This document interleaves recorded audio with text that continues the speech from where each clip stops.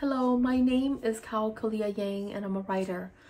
I'm so happy that I have this opportunity to share more about my newest Lerner title. I am the author of A Map into the World and The Most Beautiful Thing and in October From the Tops of the Trees, a story born from my real life. I was a child born in the refugee camps of Thailand behind the fences that prevented me from entering into a bigger world. I was born the daughter of a poor man, a poor man who would climb the tallest trees in the camp with his daughter in his arms so that she might see beyond the fences.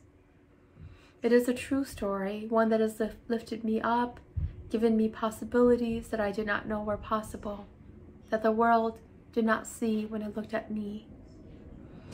My biggest hope is that it will do the same for your readers, remind them of the real love stories in their life, the love stories that will carry them far. There are not many books about daughters and their fathers of Southeast Asian descent, of Asian American descent, and the children's library shelves, and I hope that this is a valuable and worthy contribution. Thank you for your time.